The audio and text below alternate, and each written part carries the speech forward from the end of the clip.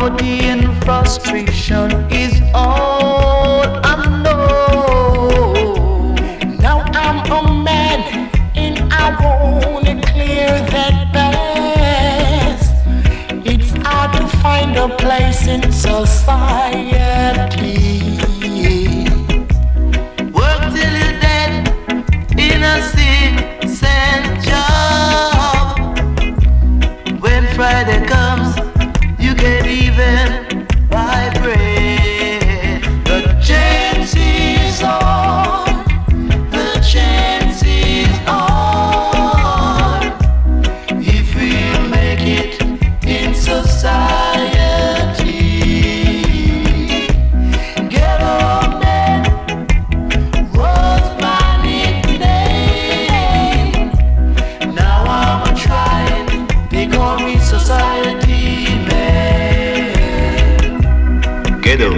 is my name. I like